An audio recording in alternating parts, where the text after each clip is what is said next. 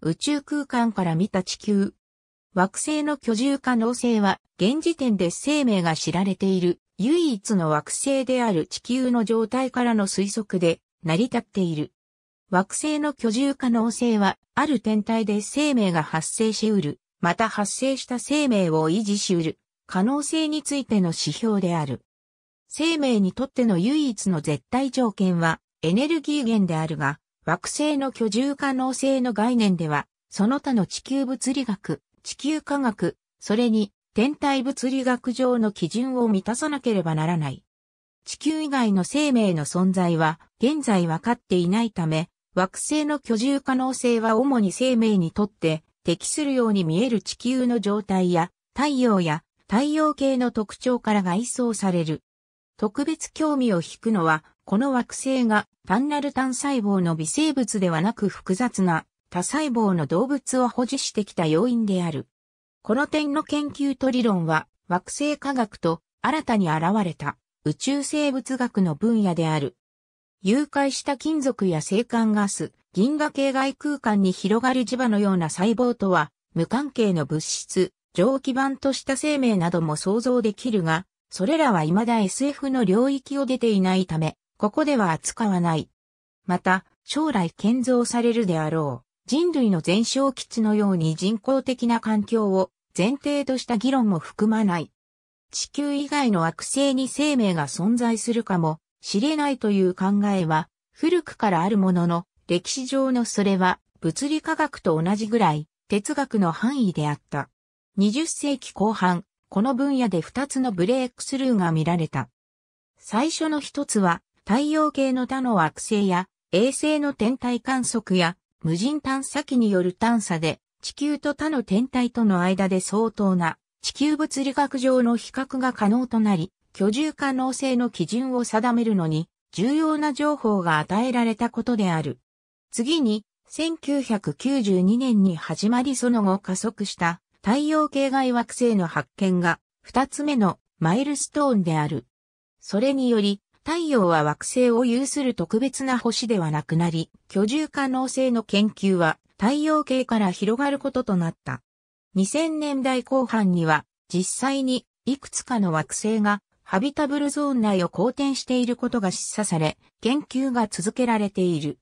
2016年5月10日の NASA の発表によると、この日までに発見された4302個の太陽系外惑星のうち、居住可能な条件を満たす惑星は21個あるという。惑星の居住可能性は構成の理解から始まる。地球のような天体は多数存在するかもしれないが、より大きな形自体が生命に適しているのかも重要である。セティのプロジェクトフェニックスの科学者、マーガレット・ターンブルとジル・ターターは2002年、ハブキャットを作成した。このカタログは12万個に及ぶ膨大な数のヒッパルコス製氷の構成から1万7000個をコアグループハブストアーズとして抜き出したものである。そこで使われた選択基準は、居住可能な惑星に必要な天体物理学的な要因を理解するための第一歩としてちょうど良いものになった。恒星のスペクトル型は高級の温度を示し、それは星の質量と関係している。ハブストアーズとして適切なスペクトルの範囲は今のところ開花 G から K の中間あたりまでだと考えられている。これは 7000K、4000K の温度に相当する。太陽はこの範囲のちょうど中間に位置する G2 の構成である。この種類の中間の星は惑星の居住可能性にとって重要と考えられる特性を多く持っている。これらの構成は熱すぎも寒すぎもせず、生命が誕生する機会を持つほど十分長く存在する。このスペクトルの範囲は銀河系の構成の内5から10%だと思われる。また、もっと暗い K や M の構成が居住可能な惑星を有するのに適しているかは、これらが多数存在していることもあり、おそらく惑星の居住可能性を考える中で最も重要な問題である。これについては、以下の代わりとなる構成形で広く議論する。ハビタブルゾーンとは、惑星がその表面に液体の水を持つ恒星の周囲の理論上の空間である。液体の水は地球のすべての生態系にとり不可欠だとみなされており、エネルギー源の次に生命の最も重要な要素だと考えられている。ただ、これは水に依存する種に対する偏見であるかもしれず、もし水を必要としない生命が存在し得ることが発見されれば、ヘルツの考えは大幅に拡張されるか、制限したり、すべて捨て去らなければならなくなるかもしれない。安定したヘルツとは二つの条件を意味する。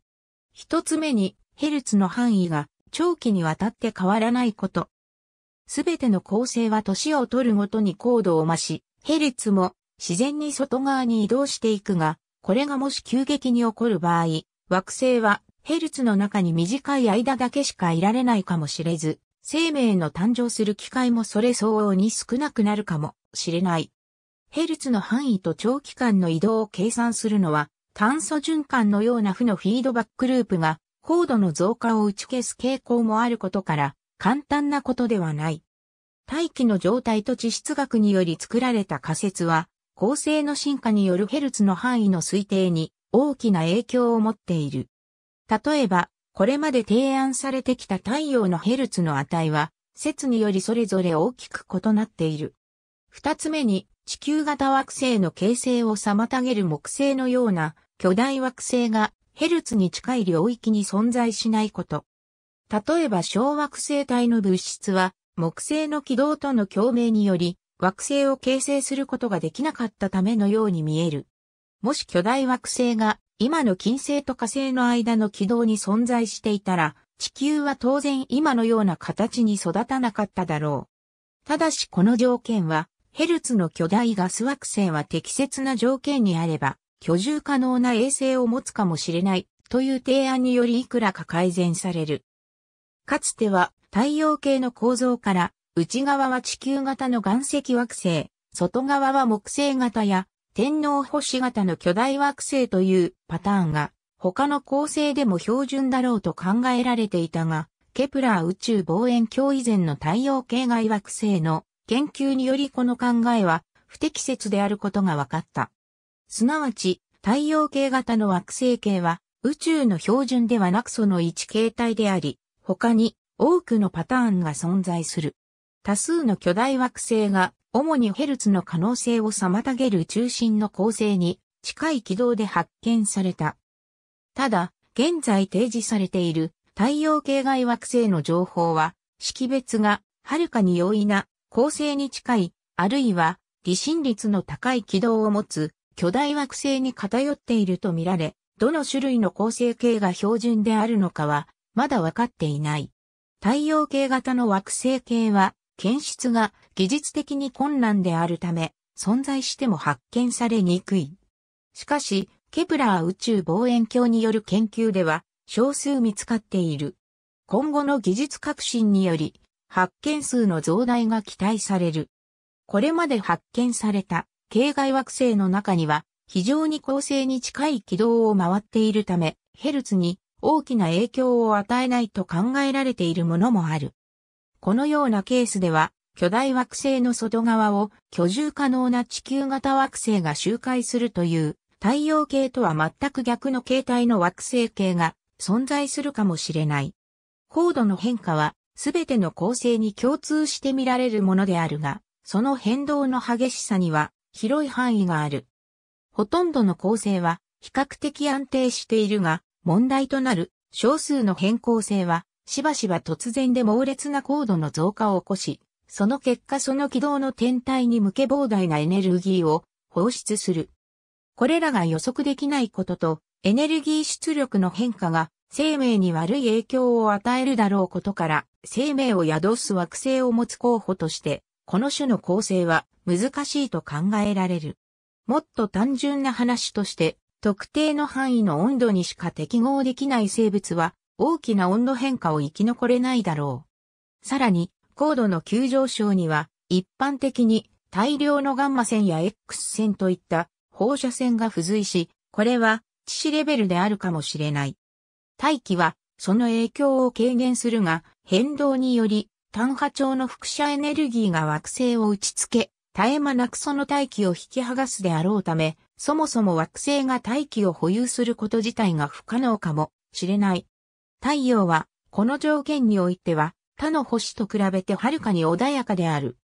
太陽の明るさの最大と最小の間の変化幅は、11年の太陽周期で、だいたい0.1%である。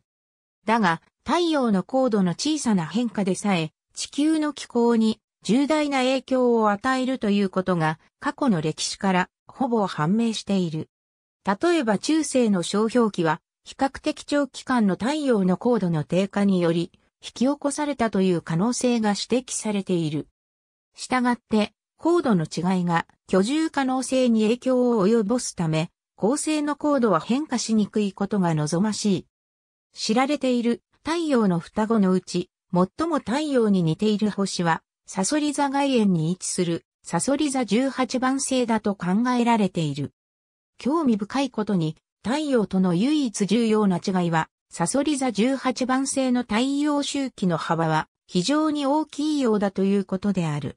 どんな構成も、その大部分は水素とヘリウムからなっているが、構成が含む重い元素の量には大きな違いがある。構成の金属の割合が高いことは、原子惑星系円盤で初めに利用できる重い物質の量に関係がある。原子太陽系成分の理論による惑星系が形成される際、金属の量が少ない場合、その構成の周りに惑星が形成される可能性はかなり減少すると考えられていた。太陽系外惑星の分光法による研究では、高い金属含有量と惑星の形成との関係を裏付けるデータが得られていた。初期に発見された惑星を有する恒星は、惑星を持たない恒星よりも明らかに金属に富んでいた。また、高い金属率は、ハブストアーズに若い星という条件を与える。宇宙の歴史の中で初期に形成された恒星は、金属含有量が低く、惑星を持っている見込みもそれ相応に低くなると考えられていたためである。しかし、系外惑星の観測対象が巨大ガス惑星からより小さい惑星へ広がるにつれ、金属量と惑星の存在頻度の関係は部分的なものに過ぎないことが明らかになった。ケプラー宇宙望遠鏡の観測記録によると、巨大ガス惑星の場合は、恒星の金属量と惑星の存在頻度の間に、正の相関関係が存在するものの、半径の小さい惑星の場合は、幅広い金属量の恒星の周囲に普遍的に存在している。巨大ガス惑星の衛星も生命を宿せるかもしれない。居住可能な惑星についての主な仮説は、それは地球型惑星だということである。これらの惑星は、大体地球と同じほどの大きさで、主に計算岩石で構成されていて、外装は巨大ガス惑星に見られるような気体の水素やヘリウムで覆われてはいない。生命が巨大惑星上層の雲の中で発達できるかについては、はっきりとは否定できない。けれども、それらには地表がなく、その重力は膨大であり、生命が誕生する可能性はあまりありそうにないとも考えられる。その一方、巨大惑星の衛星は生命を宿す有力な候補となっている。生命を支えられそうな環境を分析する場合、普通は簡単なもの、新生細菌のような単細胞生物と古細菌、それに複雑な構成動物との間に区別をつける。どんな生命の系統樹を仮定しても、当然ながら単細胞生物は多細胞生物に先立って現れることになるが、単細胞生物が誕生すれば必ずより複雑な多細胞生物にまで進化するという保証はない。以下の惑星の特性は生命全般にとって重要なことだと考えられているが、いずれもより大きく複雑な植物や動物のような多細胞生物ほど条件が厳しくなると考えるべきものである。火星、大気が薄いため、太陽から同じ距離を公転したとしても、地球より寒い。低質量の惑星は、以下の二つの理由から生命を宿す候補としては、適さない。一つ目に、その低い重力では、大気の保持が難しいことである。大気を構成する分子は、脱出速度に達しやすくなり、吹きつける太陽風や衝突などでたやすく宇宙空間に失われる。熱い大気を持たない惑星は原子の生化学に必要な物質を書き、その地表には少ない断熱効果と乏しい熱移動しかもたらさず、短波長の放射線や隕石に対する保護効果も少ない。さらに、大気が地球大気の0.6%より少なく、大気圧が4.56水銀中ミリメートルに届かない場合、水は液体の状態で存在できない。水が液体である温度の範囲は一般的に圧力が低くなるほど低下する。二つ目に小さい質量の惑星ほどその直径も小さくなり、その結果より大きなものと比べて体積と比較した表面積の割合が高くなる。このような天体は形成時に残ったエネルギーを早く失う傾向があり、その結果地質学的な死を迎え、火山、地震、それに地殻変動による生命を維持するための資源であり、大気の温度も保持する物質の供給が失われることになる。プレートテクトニクスについては、少なくとも地球では特に重要なことであるように見える。それは重要な化学物質や鉱物を再生するだけではなく、大陸を作り出し環境の複雑さを増して、生物多様性を育むとともに、地球の磁場を生成するのに必要な対流を生み出す、助けにもなる。低質量というのは一部相対的な呼び名である。地球は太陽系の巨大ガス惑星と比較すると低質量であると考えられる。だが、その直径と質量は太陽系の地球型惑星の中で最大であり、密度も最も高い。その重力だけで大気を保つのに十分なほど大きく、また余裕したコアが熱機関として残るのに十分なほどにも大きくあり、その表面には様々な地質学的な動きがある。対照的に火星は地質学的な死に近く、その大気のほとんども失われている。したがって、居住可能性の加減となる質量が火星と地球や金星の間のどこかに位置していると推論して問題ないだろう。ただ、特殊な条件下では例外もある。木星の衛星イオは、その軌道から引き起こされる木星の潮汐力によって活発な火山活動を見せている。隣接するエウロパーも、また、巨大ガス惑星に近い軌道から生まれるエネルギーにより、氷の外角のもとに液体の海を持っているかもしれない。一方、土星のタイタンは熱い大気を保っており、その表面の液体メタンの中での生、化学的反応により、表面に生命を宿す可能性を持っている。これらの衛星は例外であるが、質量が居住可能性の基準として絶対だと考えることはできないということも証明している。最後に、大きな惑星はおそらく大きな鉄のコアを持っている。これにより、惑星を太陽風から守るための磁場を作ることができるようになる。磁気圏がなければ、惑星の大気は剥がれて取り去られ、そこに住む生物はイオン化した粒子を浴びせられることになるだろう。質量だけが磁場を生成する唯一の基準となるわけではなく、コアにダイナモ効果が生まれるには、惑星は十分な速さで回転もしなければならない。だが、質量はその過程の重要な要素ではある。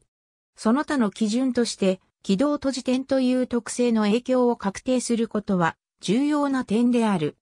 離心率の高い軌道は惑星が主星に再接近した時と最も遠い時の違いを生むことになる。離心率が高ければ高いほど、その惑星表面の温度変化も大きくなる。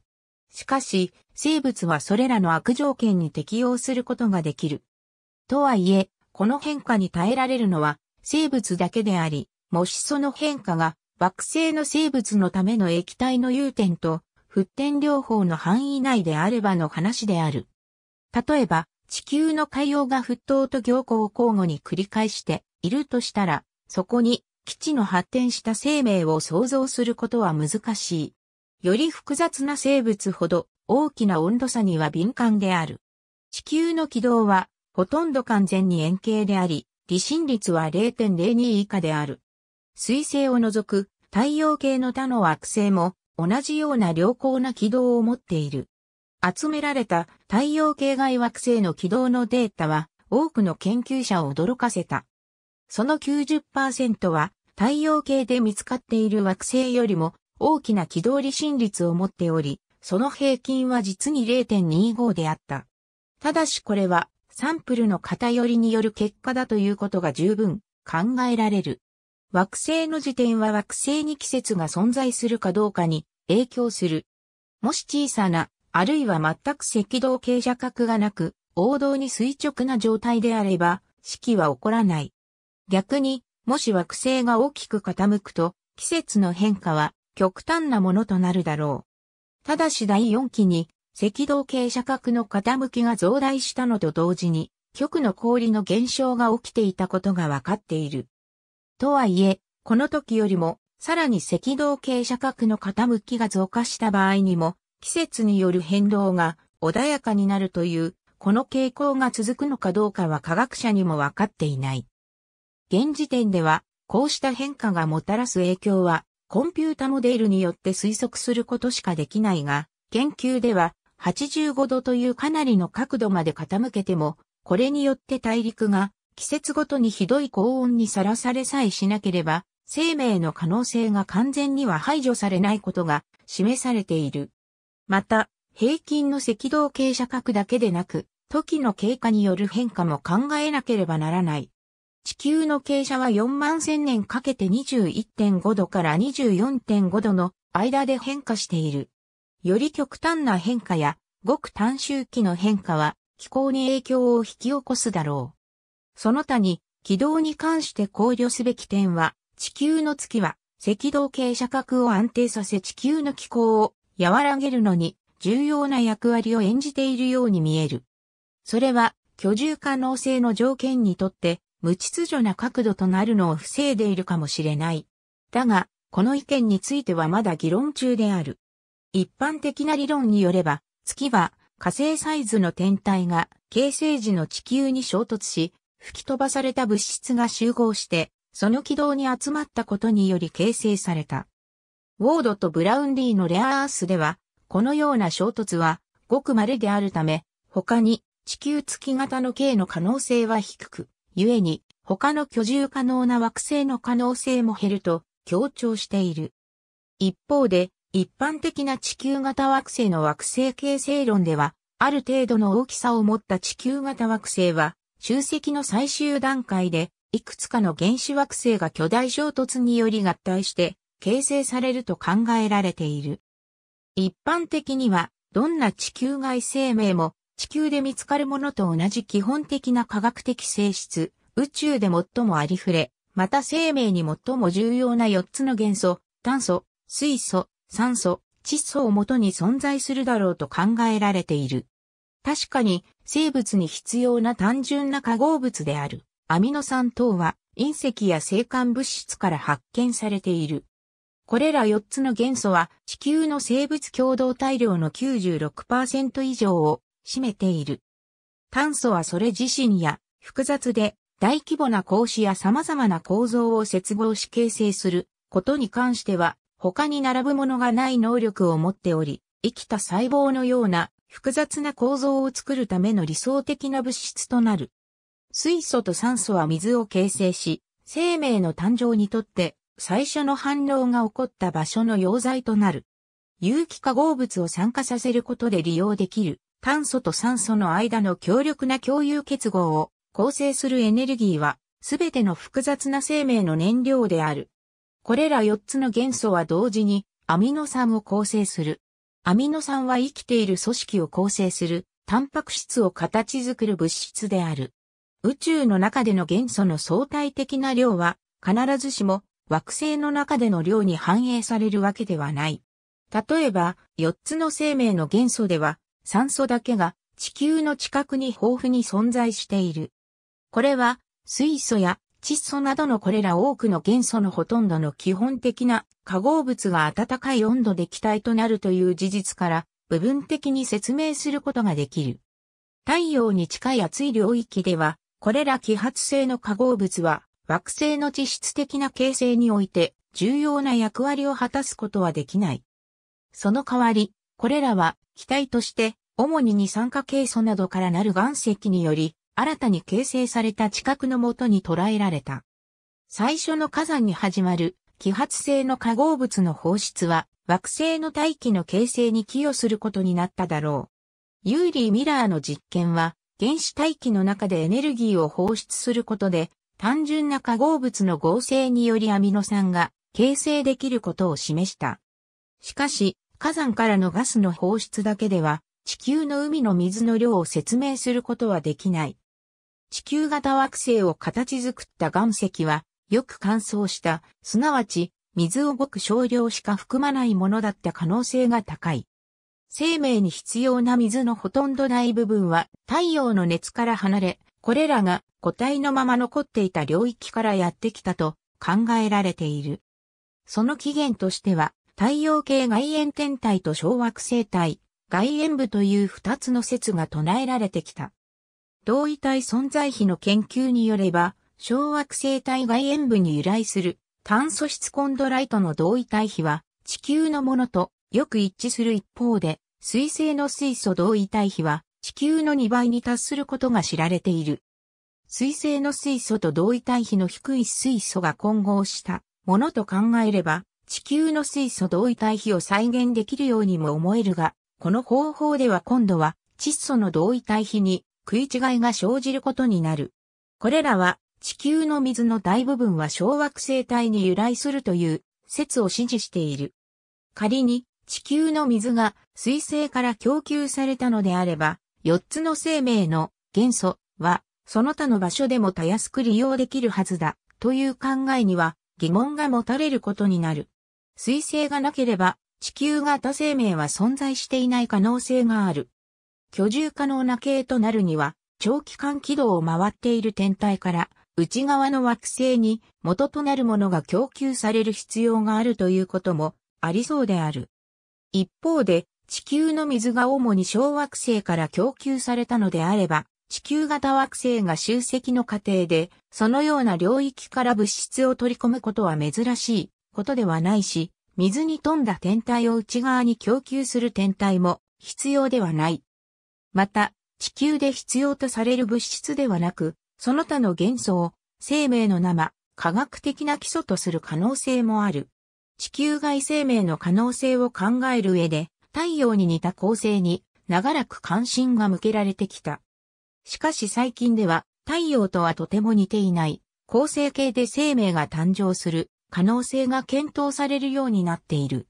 代表的な見積もりでは、すべての恒星の50%かそれ以上が連星であると示唆している。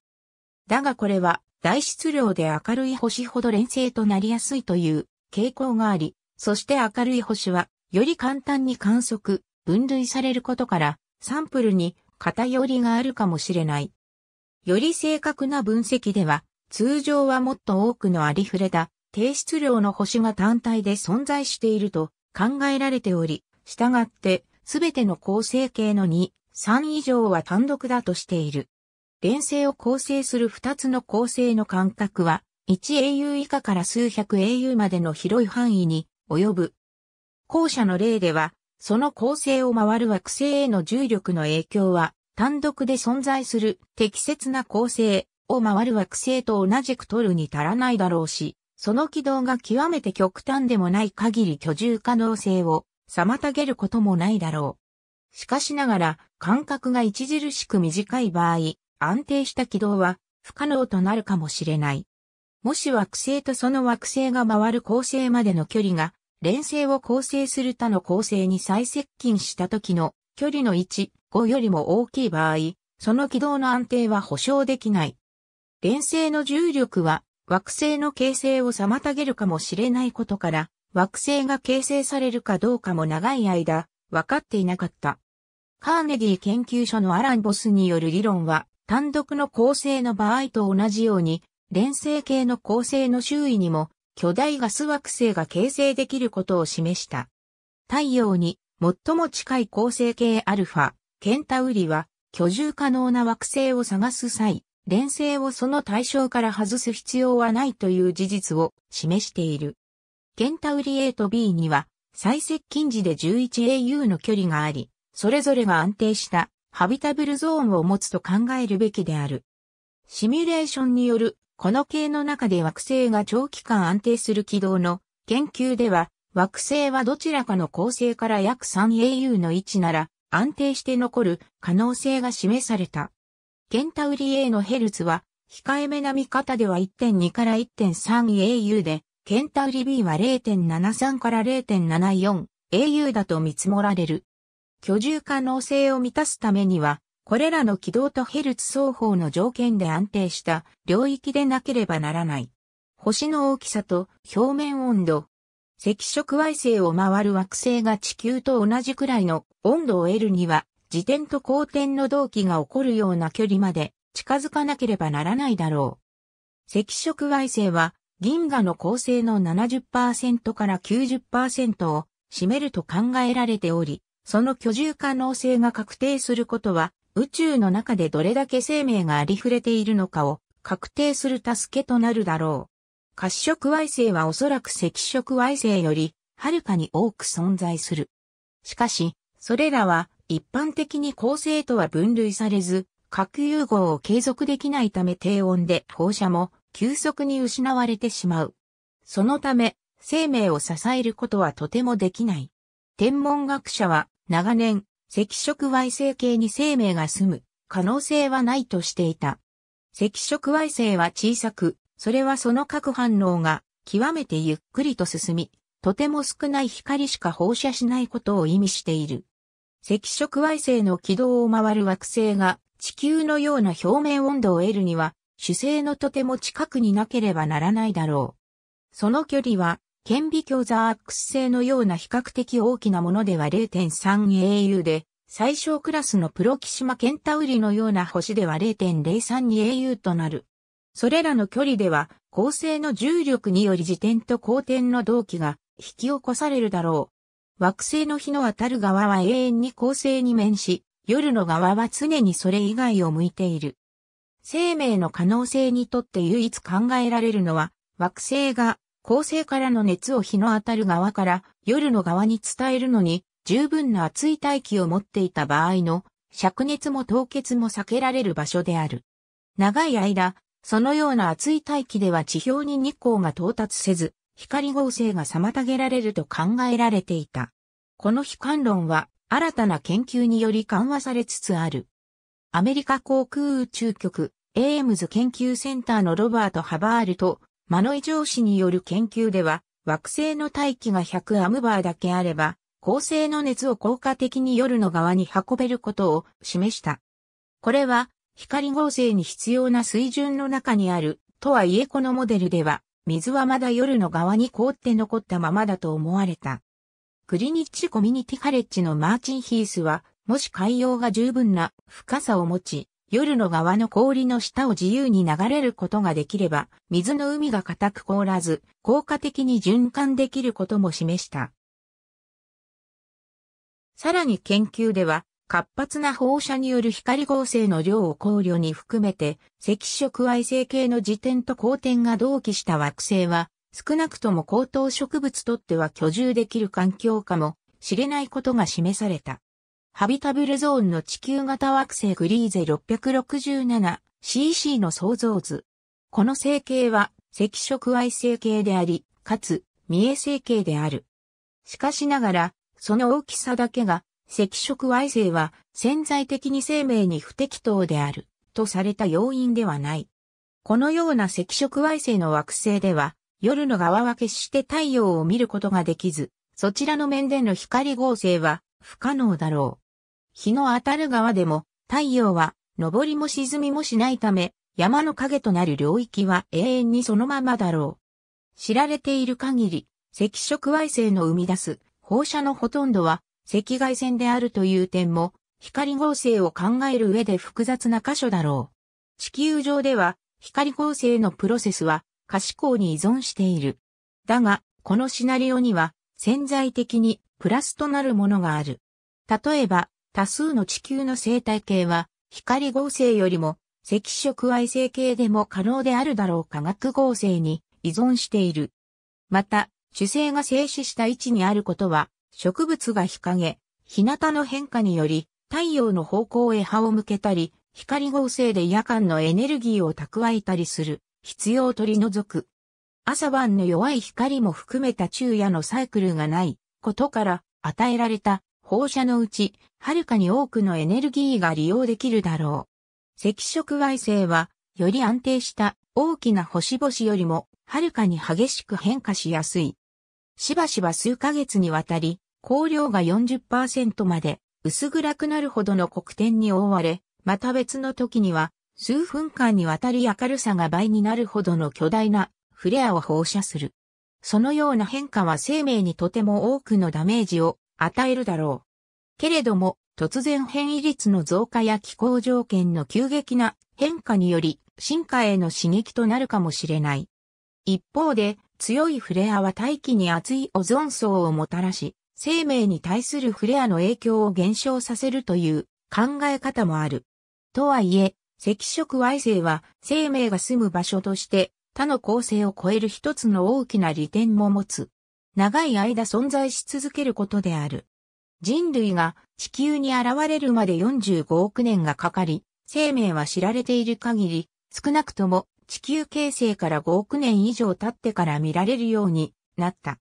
この点、赤色矮星は大型の恒星と比べて核反応がはるかに遅いため、短くても約1000億年、長ければ10兆年以上にもわたって存在することができると推測されている。これは生命がより長期間発展し、より長期間生き残る可能性が高いことを意味する。さらに、どこか特定の赤色矮星の周りのハビタブルゾーンで惑星が見つかる確率はほんのわずかだとしても、その数の多さからすべての赤色矮星のヘルツを合計した量は、すべての太陽のような恒星のヘルツを合計した量に匹敵する。2014年現在、赤色矮星のハビタブルゾーンに位置する地球型惑星は複数発見されており、中でもケプラー 186f は極めて地球に近いサイズの惑星である。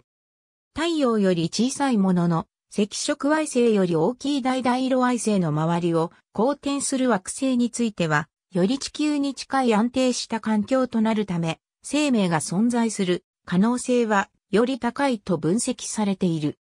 また、大々色矮星の寿命は赤色矮星よりも短いものの、太陽よりはずっと長く、約200億から1000億年に及ぶと推測されているため、この点においても惑星に生命が存在する可能性は太陽と同等、またはそれ以上に高いとも言える。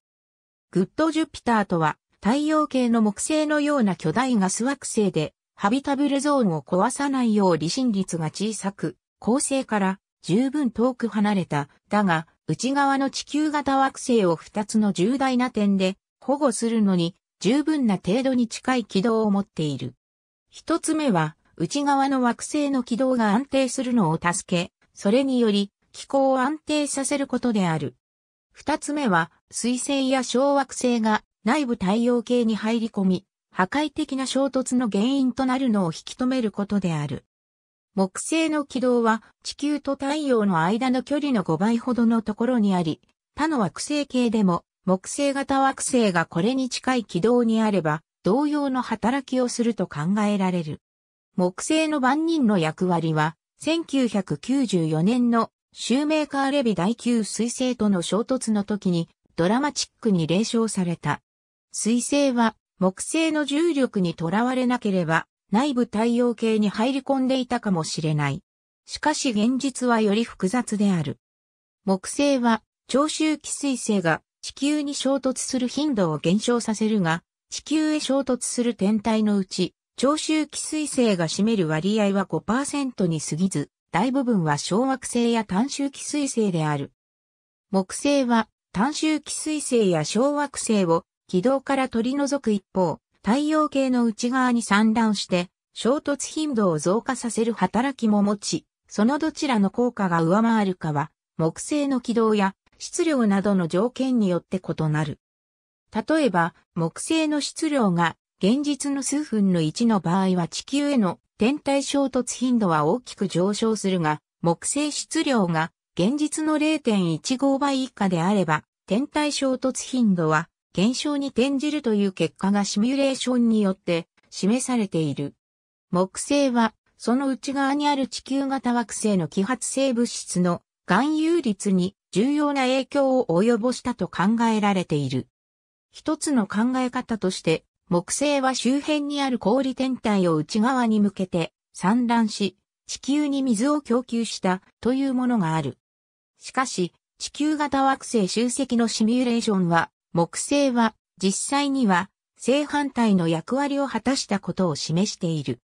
木星が存在するモデルと存在しないモデルのシミュレーション結果を比較すると、明らかに前者の方が水の少ない乾燥した地球型惑星が形成される。これは木星は内側に向けて供給するより多くの天体を惑星系から放出し、地球がそれらの氷に富んだ天体を取り込む機会を失わせるためである。また、科学者は銀河の特定の領域は他の場所と比べて生命によく適している可能性があるとも考えている。太陽系の存在する銀河系の円に位置するオリオンでは生命に好意的な場所だと考えられている。したがって相対的に孤立した構成であることは生命を宿す系にとって必要なことである。もし太陽が他の系と混み合っていれば、生命の機会に致命的なほど近くに危険な放射宣言がある可能性も著しく増加する。さらに、近隣の構成は、オールトの雲やエッジワースカイパーベルトのような様々な天体の軌道を生み出し、内部太陽系に大災害をもたらすかもしれない。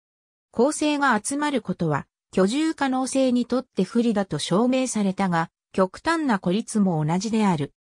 太陽と同じくらい金属に富んだ構成は、おそらく相対的な金属量の低下や、一般的な構成の形成物の欠乏により、銀河系の最も外側の領域では形成されないだろ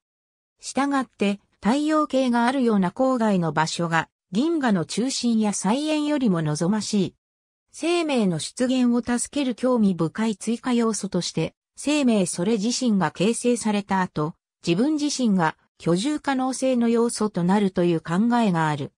地球の有力な例として、古代のシアノバクテリアによる酸素の生産と、その先の光合成植物の登場、それによる地球大気の根本的な変化が挙げられる。この酸素は、後に動物種の呼吸に重要であることが証明された。この生命とその後の居住可能性の間の相互作用は様々な検討をされている。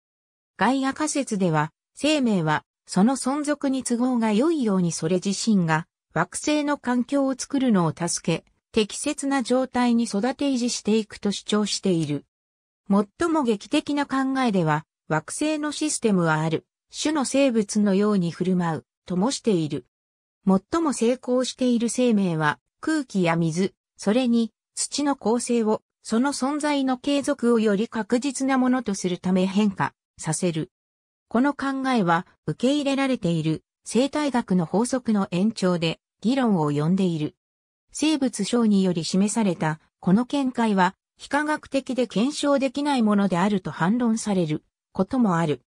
しかしながら、より主流の研究者もラブロックにより眼蓄された目的論を必然的に受け入れることなく、関連する結論にたどり着いた。デビッド・グリーンスプーンは、惑星にすでに存在する生命は、居住可能性の構成に関する理解と分けることはできないという Living Worlds 仮説を提案した。この説では、地質学的にも気象学的にも生きた惑星は、生物学的にも生きており、惑星とその生命は一緒に発展するだろうとしている。2004年のギレルモ・ゴンザレスとジェイ・リチャーズの著書 The Privileged Planet では、惑星の居住可能性と宇宙の残りを観測した結果との間の関係を検討している。地球の生命は特権的な立場にあるという、この考えは哲学的な意味、特にコペルニクス原理に違反することから議論となっている。ありがとうございます。